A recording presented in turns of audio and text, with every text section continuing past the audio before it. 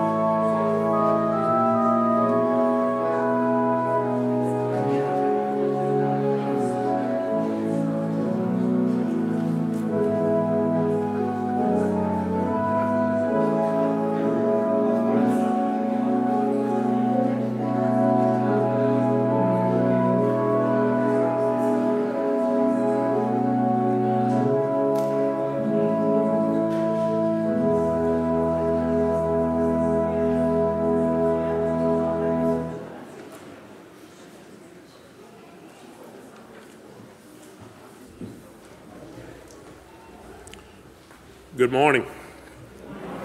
Welcome, everyone, to this uh, Sunday morning here at Bethesda. Uh, Thank everyone for being here. Uh, A couple of announcements before we get started. Uh, If everyone will fill out uh, the fellowship pads on the inside of each aisle and pass them down, and please introduce yourself to those who you might not know. Uh, We'd like to also welcome any guests that we have worshiping with us this morning also.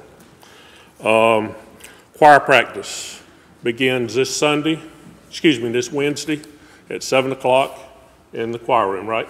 Thank you, Arlene. Okay. And uh, the Presbyterian women, they have their regional meeting next Saturday at, at 9 a.m. here at the church, and Leslie's here to tell y'all more about it. Good morning. As most of you know, we're having the Presbyterian Women's Thank uh, uh, re- uh, business meeting, I'm sorry, next uh, Saturday, August the 13th. Registration starts at 9. It's not really going to be a business meeting. It's going to be a spiritual, inspirational, and educational event. It's going to be a lot of fun, and I hope all women will come, spread the word, ask a friend.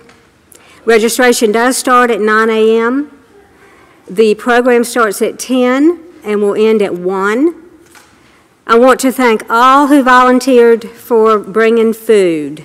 If at all possible, we need all the food here by Friday. The, uh, there will be somebody in the fellowship hall from 10 a.m. to about 1 setting up, and we'll accept the food then if that's when you want to bring it, but we definitely need the fruit then so that we can assemble the fruit platters.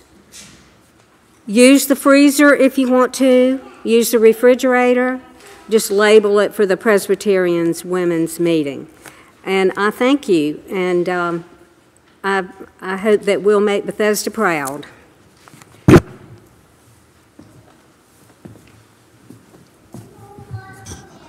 Uh, Next, I'd like to invite uh, Cullen Martin to come forward, please.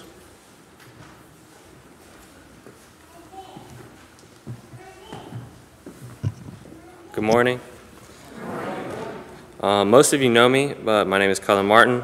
Um, I just graduated from Pinecrest High School this past June.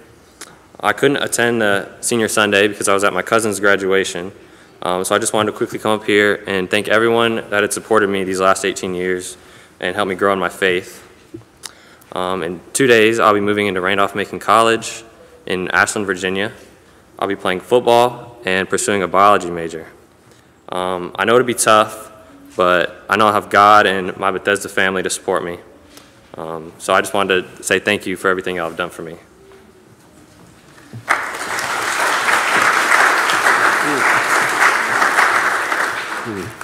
Thank you, Cullen, and good luck.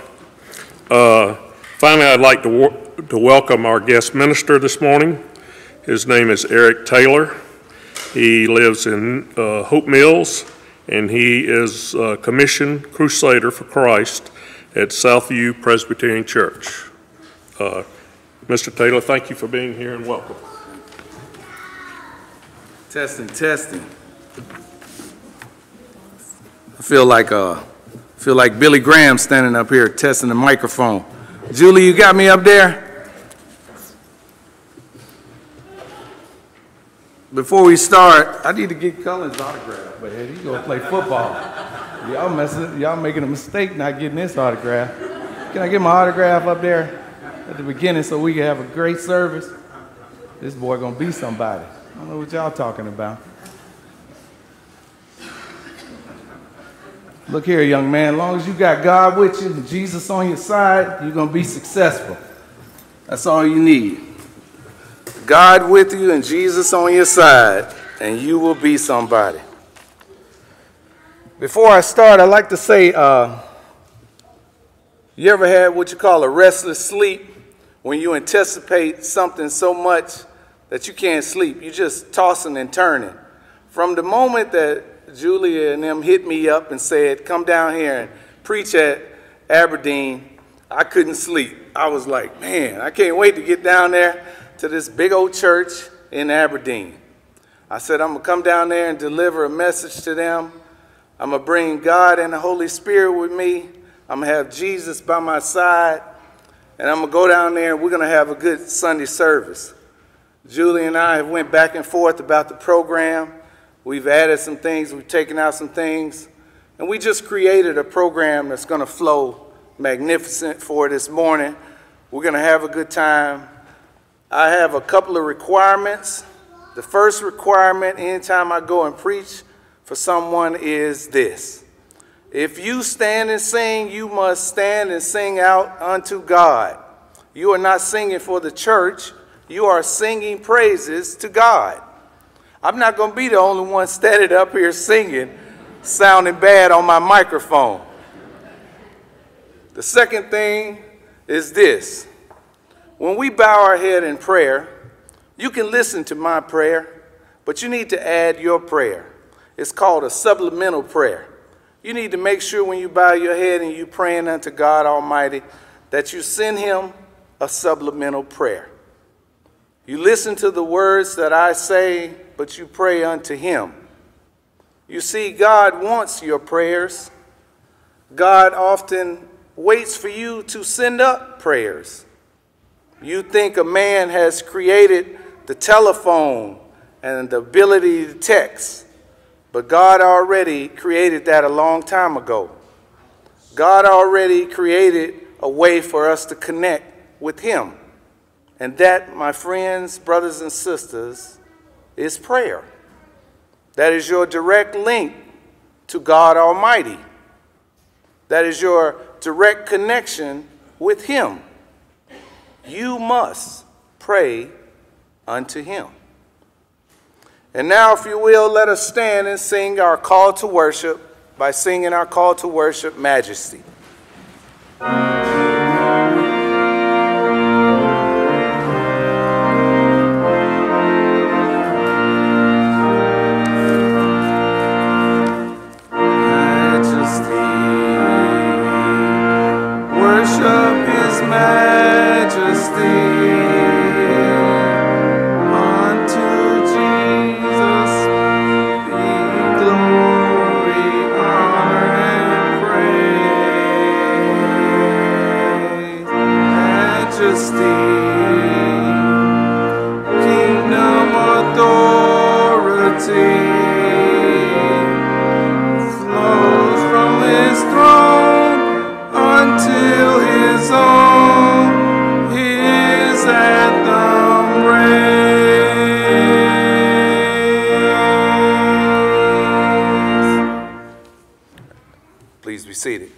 And now, if you will, listen to me from the words of the invocation, which is found on Psalm 33.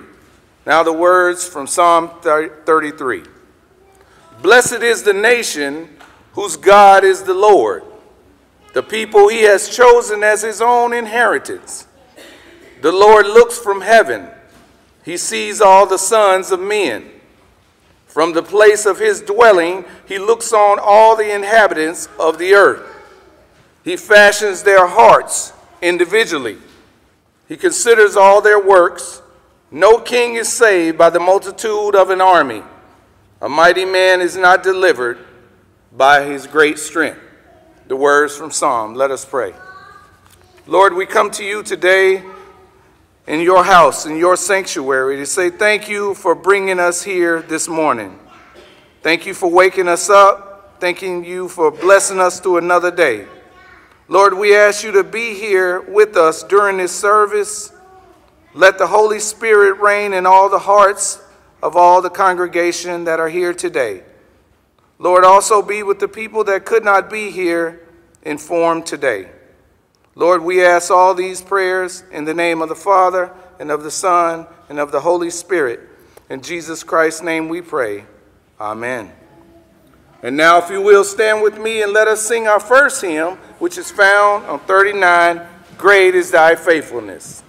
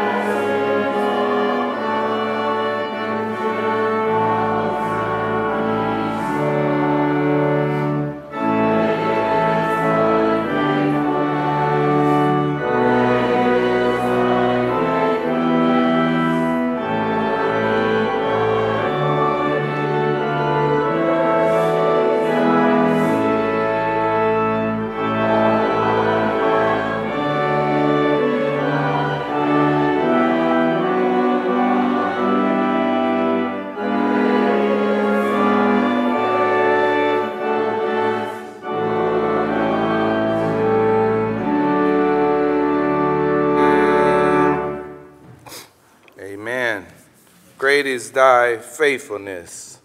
All that I needed, that he has provided. Great is our faithfulness.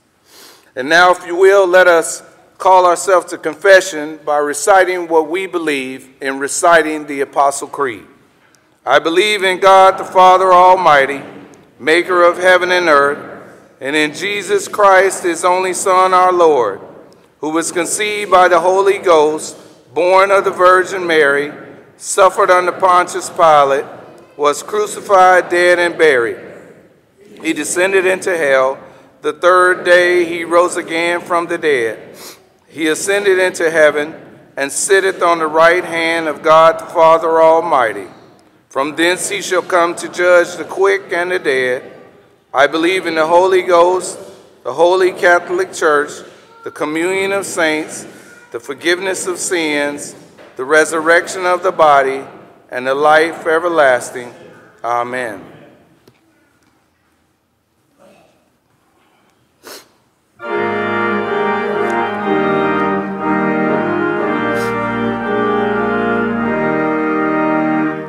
Glory be to the Father,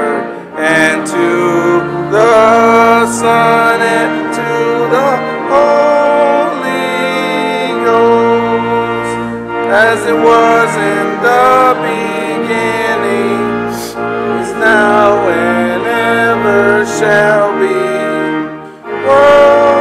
Without end. Amen.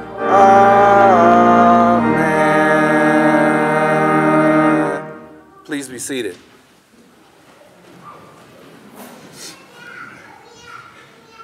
You know, when I, when I first started, I, I started off as a, a youth minister. Someone came to me and asked me to give the children's message at a Presbyterian church as the children come up front. And uh, I never knew that that was going to be my calling. I had no idea that at, at age of 57 years old that I would be standing before you preaching, preaching the word, preaching the messages about Jesus, giving children's message, and then going on to becoming a certified ruling elder. I changed my title from certified ruling elder. I changed my title to Crusader for Christ. And the reason why I changed it is because that's the only message that you will ever get from me when I preach. It's always going to be a message about Jesus. As the children are here before them, a lot of times when I used to give the children's message, the audience, the congregation was listening to the message. But truly, the message is for them. I want to tell you a quick little story about a very important man. One day, Jesus was coming into Jerusalem, and an immense crowd had gathered around him. And as Jesus was walking through the path to Jerusalem, he came upon a tree. Jesus got a feeling, and he looked up into the tree and he saw this little person sitting in the tree.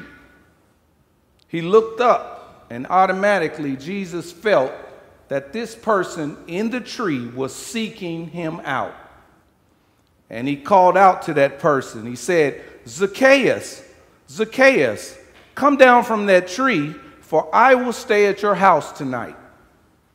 Zacchaeus came down from the tree, and he was a small person, a little person that he often looked like a little kid.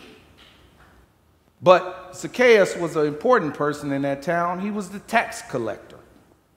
Zacchaeus had taken a lot of money from that town, he had milked them dry.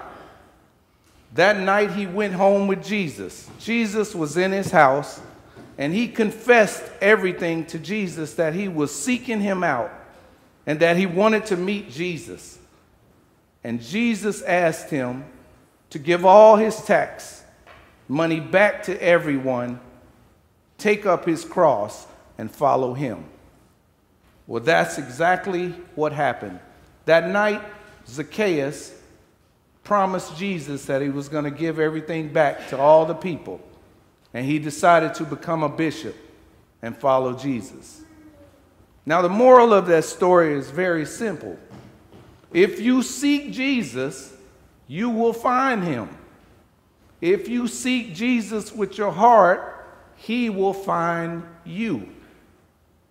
And the main moral of the story is one encounter, one encounter with Jesus can change your life. If you will, I want you to go over there where my wife is sitting, and she's going to give all of you guys something before we leave. Give my hand.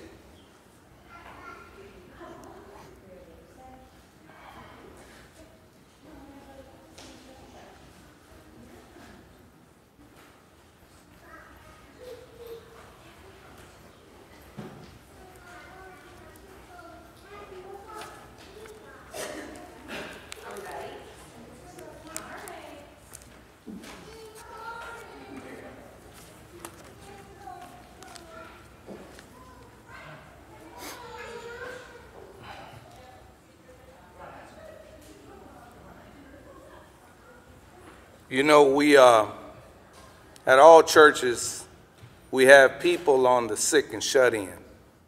We have people that have cancer. We have people that are injured and need surgery. We have friends and families who are growing older and it finds themselves hard to walk and get out of bed. This is a very special moment that we pray because you are praying for others. As my grandmother used to tell me, young son, I am often praying for you every time you walk out of that door. And then my mom used to say the same thing. I'm praying for you, son, every time you walk out that door. And now, if you will, bow our heads so that we may go to the Lord in prayer. Lord God, Heavenly Father, we thank you for this new day. We praise you for the gift of life, Lord. Please go before us today and clear the way for our friends and family to be healed, to be healed by your Son, Jesus Christ, who has the ultimate power. I ask you, Lord, to plan and guide our day today, guide every step that we may take, and watch over us. Lord, we ask you to put us in situations that only glorify you. Heavenly Father, we ask you to remain with all of us, to be with all of us, to be with the people who are sick, shut in, infirmity, diseases. We know that they all need your Son, Jesus Christ. We ask you, Lord God, to heal our country heal our government, stop the wars, stop the famine. Be there for all of those who are in need during the fires, during the floods. Lord, we ask all of these unto you, the ultimate one who is in charge. And Lord, now hear our prayer that your Son, Jesus Christ, taught his disciples by saying, our Father, who art in heaven, hallowed be thy name. Thy kingdom come, thy will be done, on earth as it is in heaven. Give us this day our daily bread, and forgive us our debts, as we forgive our debtors. And lead us not into temptation, but deliver us from evil. For thine is the kingdom, and the power, and the glory forever. Amen.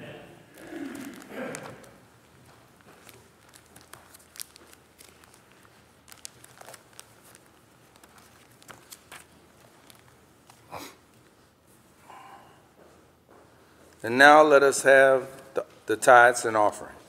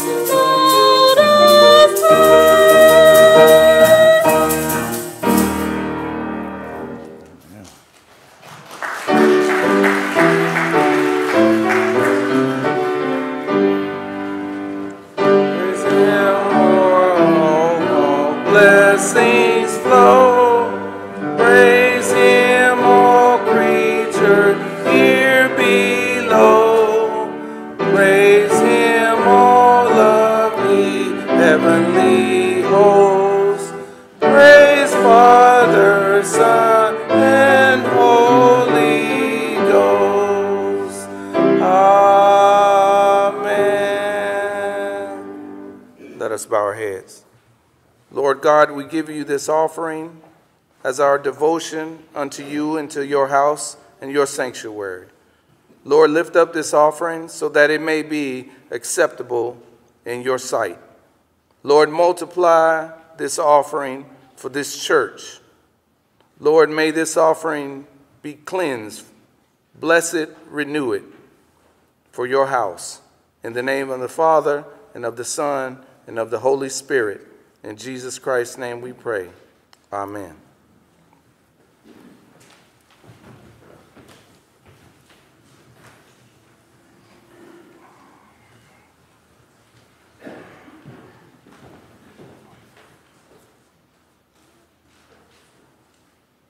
And now, if you will, let us sing our next hymn, which is found on 353.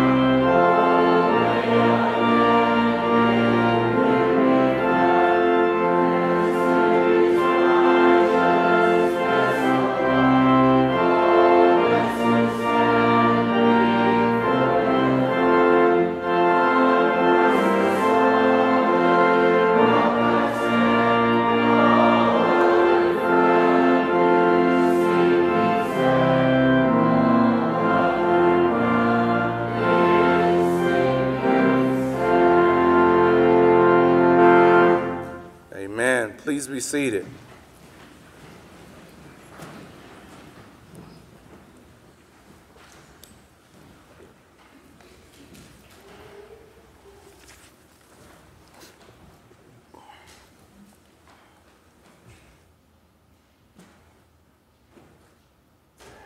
And now, if we will, take out your Bibles for the scripture for today, which is found on Hebrews 11, 1 through 3. Hebrews 11, 1 through 3. And now the words from Hebrews. Now faith is the substance of things hoped for, the evidence of things not seen. For by it the elders obtain a good testimony. By faith we understand that the worlds were framed by the word of God so that the things which are seen were not made of things which are visible. Faith Abel offered to God a more excellent sacrifice than Cain, through which he obtained witness that he was righteous, God testifying of his gifts, and through it he, being dead, still speaks. The words from Hebrew 11. Let us pray. Lord, let the words of our sermon today resonate in the hearts and minds of this congregation so that they may hear the word, learn from the word, and discern from the word. All of these prayers we ask in the name of the Father, and of the Son, and of the Holy Spirit. In Jesus Christ's name we pray. Amen. Now, brothers and sisters, let us first establish something about faith. There is no direct relationship with God without trust. There is no relationship with Jesus without faith. There is no relationship with the Holy Spirit without belief. Trust, faith, and belief. These are the three key elements of the Holy Trinity. See, let me start with the Holy Spirit. Do you believe that the power of the Holy Spirit can move mountains? For I tell you, the Bible says the power of the Holy Spirit can move mountains. Brothers and sisters, all of these stories from the Bible tells you of the Holy Spirit and his power. The book of Acts is full of stories about the power of the Holy Spirit. A crippled man was healed. The mob in Corinth, the storm at sea, the jail-breaking singing, the ministry of Philip, blind Bartimaeus, and of course the day of Pentecost. All stories from the book of Acts about the power of the Holy Spirit. You see, the Holy Spirit's made truth to all of these actions that they actually took place. And how may you say that they took place? Brothers and sisters, I tell you, for everything in the Bible was witnessed. There is not a false moment written down in the Bible. Every story, everything that was said was witnessed. You know, I once was a substitute teacher, and I went to a class, and I was a criminal justice major, as I am. That's what my major was. And I was teaching a class on criminal justice. And I told them, I guarantee I can go up to the board and I can speak to you about a subject, and I will not use God, Jesus, or the Bible in that subject. And I tell you, I went up there on that board and I spoke about God, and I spoke about Jesus, and I spoke about the Bible. And the subject matter that I was trying to prove to this class was that everything in the Bible has been witnessed. It would be a different story if not 5,000 men and women and children were there to hear Jesus speak on the Sermon on the Mount. For I tell you, Jesus fed those 5,000 and many more with two loaves of bread and a few fish, and it was witnessed by many. You see, brothers and sisters, the stories in the Bible and the words that came out of Jesus' mouth is the power of Jesus' faith. You see, John the Baptist first baptized Jesus. Then he found himself in jail. And even as they began to get ready to behead him and kill him, he still kept his faith in Jesus. John often cried out into the wilderness, standing in the water, and said, Someone will come that is greater than me. Someone will come and speak to you with the fire of many. You know, Peter found himself walking on water, and Christ told him, Have faith, reach out your hand unto me. But you see, the moment that Peter lost his faith, he began to sink. And Jesus told him, O ye of little faith. You see, Thomas doubted that Jesus had rose from the dead. But when Jesus appeared to him, he was the first one that Jesus appeared to. There was a father that was sick, and his son was also sick. He was mute, and he was having seizures. And he took his son to the disciples, and they were unable to heal him. But then they asked Jesus to heal him, and Jesus said, Who do you put your faith in? If you have faith in me, your son will be healed. Brothers and sisters, I tell you today, put all your faith in Jesus. Mary and Martha and their sick brother Larry, Lazarus, they put their faith in Jesus.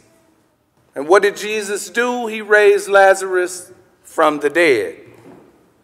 You see, Jesus healed many, many that were brought unto him. He touched them. He asked them, Who do you have your faith in? This is all that I can do for you is to heal you if you have faith in me. For I tell you, Jesus was walking with an immense crowd with the disciples. People were trying their best to get to Jesus and touch Jesus. But then a moment happened where Jesus felt someone touch the hem of his garment. And I tell you, it was a woman with a blood issue for many years. But Jesus felt the moment she touched him to the point where he stopped in the crowd and told the disciples, Someone has touched me. The disciples looked baffled at him and they said, Oh Lord, it is, it is many out here to see you, teacher. Jesus said, No, someone with mighty faith has touched me. Brothers and sisters, I tell you today, even Jesus had faith in himself. You say, well, how is that possible? Well, Jesus knew that he was going to die. He knew what his mission and ministry and plan was here on earth from the beginning. Jesus said, When you have lifted up the Son, then you will know that I am He, and nothing that I do is on my own. But as you speak of faith, you will speak what my Father has taught me. You see, Jesus had faith in himself. Jesus was away praying, as he often did. He went away from the disciples. He would go and pray. One time, Jesus was praying so hard that the sweat from his brow turned into blood. It was signifying the blood that he was about to shed for all of us. There wasn't a time where Jesus questioned that he was about to lay down his life for all of us. For at the very end, Jesus cried out, It is finished. You see, that is faith beyond anything. Faith in himself and in his Father. Faith in Jesus Christ, brothers and sisters, can heal you. For I tell you, I have laid in a hospital bed to the point where I could not move after two and three back surgeries. Then I laid in a hospital bed after neck surgery where they had to put a titanium plate in my neck and a titanium plate in my back. For I tell you, I could not even walk and take care of myself. My wife had to take care of me. But I stand before you today to tell you and testify that Jesus healed me. For on that Thursday, after taking so many meds, being pumped with so many antibiotics, I finally said, I don't need any of that anymore. I have said my prayers. And on Friday morning, Jesus said, It is time to leave this hospital. And the power of Jesus Christ helped me heal up. For I tell you, Jesus can heal you today. In your heart, you must have faith.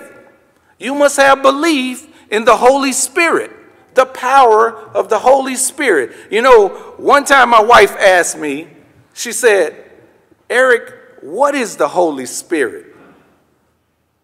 I said, puzzled as I often do, because sometimes she often asks me a lot of questions and I never know what to say. I have to think about what I'm going to say before I answer her. And I said, Babe, let me tell you, the Holy Spirit is a drop of Jesus' blood, just a drop. And do you know how powerful just a drop of he, Jesus' blood is? That's an immense power. Let's not talk about all of the blood that Jesus shed for all of us. Just a drop of his blood is the power of the Holy Spirit. Brothers and sisters, I tell you to trust in God. This one is the one that will truly set you free. Putting all your trust, your heart, your mind, your body and soul and trusting God over your life and your current situation. Do you know that God just does not shine the sun down upon your small head? He shines the sun on everyone. He does not let the rain fall on just your shoulders. He lets the rain fall on all of our shoulders. See, we often wake up every morning and forget that the day and the night was created by God. I'm not going to sit here and stand before you and tell you of a scientist's name that created the moon, the sun, the earth, and the oceans. Because there has never been a scientist that has came before you and claimed to have created the dirt that you walk on. We often don't even appreciate the air that we breathe. You know, we don't live on any of those other planets. We live on a planet so immense that He created the air that we breathe. Have you ever thought about waking up the next morning and wondering what it would be like if you could not breathe the air that is outside? I tell you, Noah trusted in God. God told Noah to go out and build a ship that was going to house all of these animals. Do you know it took Noah almost 45 years to build the ark? Do you know when Noah went into the ark, Noah was almost 900 years old? 900 years old. You know, Abraham trusted in God to the point where he was about to sacrifice his son. Do you know when Abraham and Sarah had a baby? Sarah was 85 years old. Abraham was 99 years old. Three angels showed up at their camp and told them that she would have a baby. Trust in God. I tell you, by the time Joshua took over from Moses to lead the people of Israel, do you know Joshua was 85 years old when he took over from Moses? Joshua can be found often saying that I put all my trust in God Almighty. Do you know Joshua never lost a battle? 13 battles that he and his people fought, and Joshua never lost a battle. Considered the greatest general to ever be on earth. You know, Jonah fled from God. Jonah didn't trust God. God told Jonah, Go down there to Nineveh and preach to the people. Jonah got on a ship and floated the opposite way, trying to get away from God and his message. Then Jonah found himself in the belly of a whale. Then all of a sudden, his trust came back, and he began to pray and ask God to get him out of the belly of this whale. You know, Isaiah trusted God even after they gave him bad news. You know, Deborah trusted God with the demands that were put on her life. Esther trusted God and she saved her people from destruction. You know, Shadrach, Meshach, and Abednego trusted God. Daniel trusted God in the lion's den. All of these people from the Bible put their sole trust in God. I tell you, brothers and sisters, God is real. God is present. God is working overtime. God has never changed from the biblical day 2,000 year ago God. God is the same today. God will be the same in the future. For you can't stand before an immense, powerful God and not be humbled by how powerful He is. I tell you today, rely on Him. I tell you, even when things are good, trust in Him. You see, we often think that when everything is going good, God is helping us out. But when things are going bad, you don't want to give any credit to God. But I tell you today, your troubles and your obstacles are what builds your faith. God never said it was going to be easy. God never said that you were not going to go through some hard times. For I tell you, years ago, I was homeless. And you say, How on earth could that have happened? For I tell you, years ago, I stood in an unemployment line. And you say, How could that happen? For I tell you, I did not even know where my next meal was going to come from myself and my wife.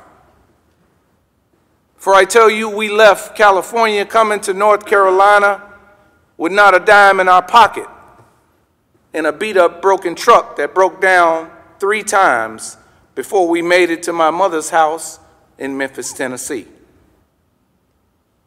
And I tell you, God was with us, Jesus was helping us, the power of the Holy Spirit was watching over us.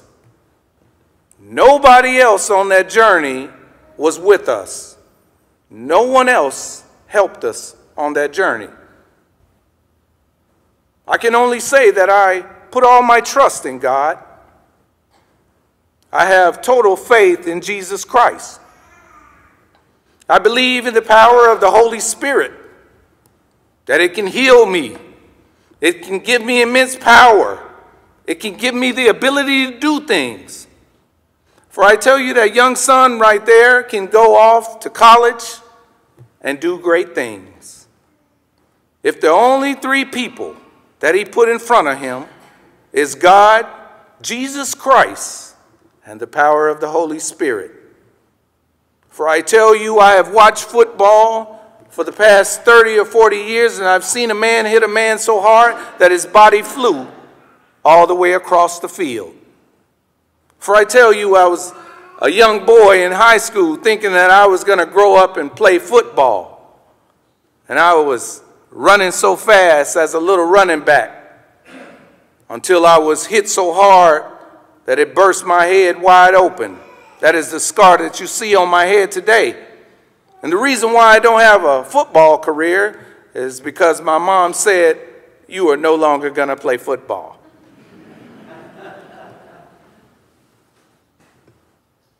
And I tell you, do I have a calling on my life? At 10 years old, I stood before a congregation of 500 in Memphis, Tennessee, as a 10 year old reading from the Bible. Did you know the Bible is one of the hardest books to read from? Here, there, nor thou. If you read an older version of the Bible, it is one of the most difficult books to read from. And yet, I tell you, I implore you, pick it up, read from it. God's Word is in it. Everything that God ever said to someone is written down in the Bible. You know, Jesus never wrote anything down. Everything that's written about Jesus in the Bible was witnessed and written down because they walked with Jesus. Brothers and sisters, I tell you, no matter how you feel today, no matter what obstacles are in your way, just pray unto God. You know, every morning I'll tell you a secret. I don't often like to reveal this secret, but as I get inside the shower and I pull that curtain, that's where I go to the Lord in prayer. I have a me time with God Almighty. I begin to pray to Him as I'm washing and taking a shower, and often God will send me a little message and say, Not you again praying to me in the shower. And I said, God, this is a private time, so I'm coming to you again to ask you for some things. He often sends back a quick text and he says, I already know what you're going to ask for because you asked for it yesterday. And for some reason, you thought yesterday I did not hear you. I said, Lord, I, I know you heard me, but I'm just coming back to add on to my first request. I said, Lord, be with me as I go down to that big old church in Aberdeen. Be with me so that they may hear the message of your almighty power. And I tell you, brothers and sisters, God will lay out a path for you. God will give you a direction. See, don't listen to your mother or father when they tell you, son, go off to college and you can do this. Because that is not where you may end up. When we were kids in fourth grade, I know it happened to you because it happened to me. We would stand before the crowd and we would say what we would like to be. And some kids stood up and said, I would like to be an astronaut. I would like to be a doctor. I would like to be a firefighter. I would like to be a policeman. Well, I never stood before them and told them that I wanted to be a preacher. That was the furthest thing from my mind. Now you see me at 57 years old standing before you preaching the word with the fire and the passion and the spirit of the Holy Spirit. I never would have thought this was my path. I never would have thought this was my direction. You know, I've had 15 different jobs. You can ask my wife. She's been there and supported me over 24 years. Every job I wanted to pursue, everything I wanted to do, she was right there with me. I worked at Sam's Club. I worked at hardware stores. I was a correction officer. I was a police officer right here in Raeford. I was a teacher. I was some of everything. And my wife would often say, maybe that's not the path that God wants you to go down. See, I never listened to that until I found out that all of those things never worked out. And the jobs that me and my wife have right now, we're both about to retire from both of them within the next year. And it's a glorious path that God put me on. I tell you today, put your faith in Jesus Christ. And I say that again so that it may sink deeply in your hearts. Put your faith in Jesus Christ. Stop putting your faith in presidents, politicians, congressmen and women, mayors, for they will not lead you anywhere. For they will be here today and gone tomorrow. Don't worry yourself to death worrying about who's in charge of this country. For I tell you, the Bible says Jesus is in charge of everything. Jesus is Lord over all. So in the end, it doesn't even matter because Jesus is in control of everything. I tell you today, the Holy Spirit has opened up many paths in my life. It has given me immense power. For I tell you, every time I walk into my job and I walk up to that escalator and that escalator is broken, I ask the Holy Spirit to give me the power to walk up this escalator. And I tell you, by the time I get to that top of that escalator, I have to thank Him. I said, Thank you, Lord, for my heart not bursting out of my chest and me dying right here in a hospital on this floor. I tell you, we joke about that, but Jesus is the head of the church. All activities come from Jesus, all teachings come from Jesus. For if anyone stands before you and tells you anything different, he is not a true pastor.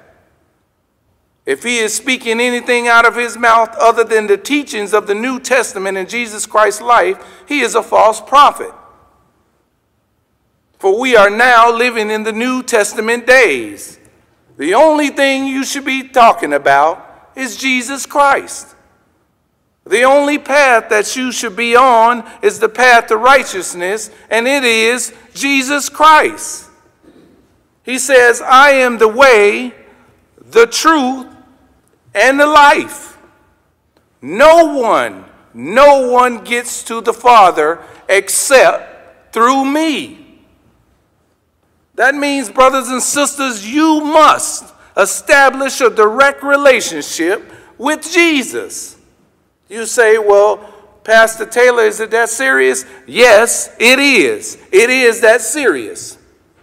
If you're wasting your time on anything else, you are simply making your downfall come to you quicker. Your sights should be set on higher ground. Your sights should be set on Jesus Christ.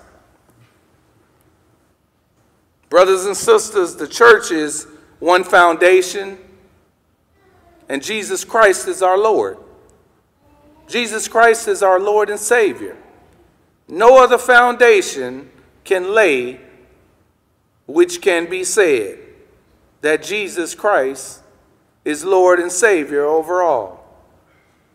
You see, the true Christian goes to church not for what he gets out of it, but for also what he brings into the church.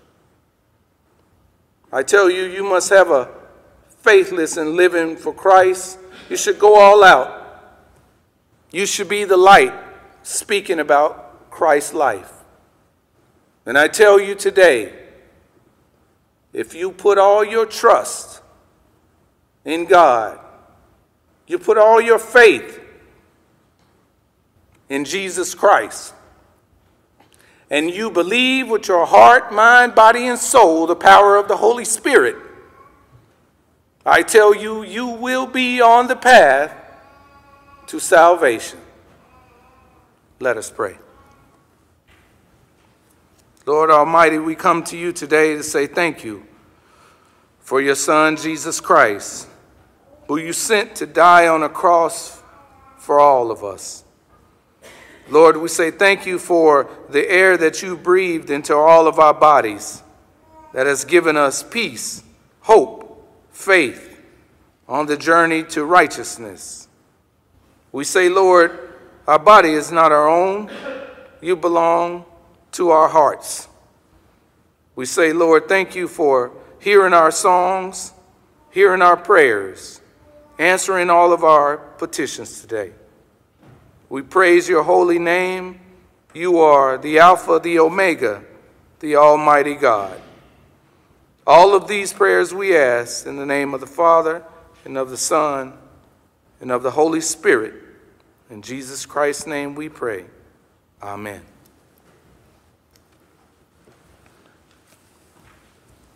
And now, if you will, stand with me so that we may sing our last hymn, which is found Holy, Holy, Holy, our closing hymn, number one.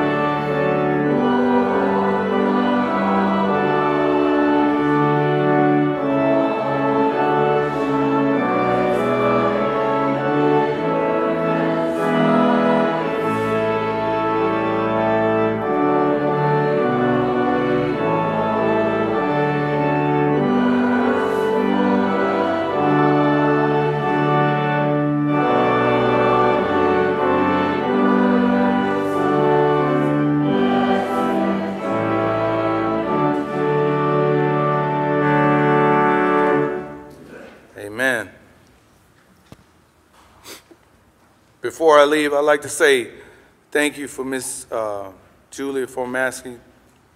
Thank you for everyone that I met as I came down here. I really appreciate you guys finding me and asking me to come down here. I often get uh, I often get choked up when I'm at church because I, I try to quell the power of the Holy Spirit. I try to bring it down a notch. And the Holy Spirit is often tapping me on my shoulder and saying, There's nothing you could do about that. There's nothing you could do about the power of the Holy Spirit. Once it overcomes you, it becomes you. I want you to, as you bow your heads today, I, I want you to listen to the prayer that I wrote.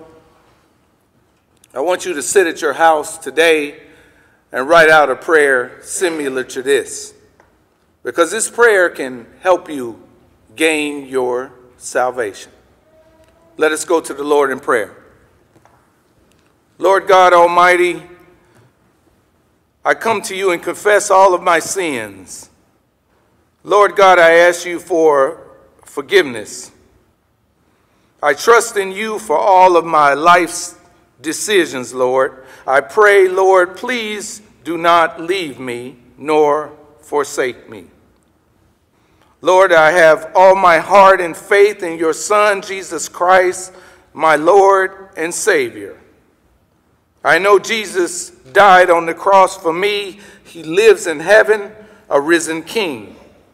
My faith is in him to save my soul.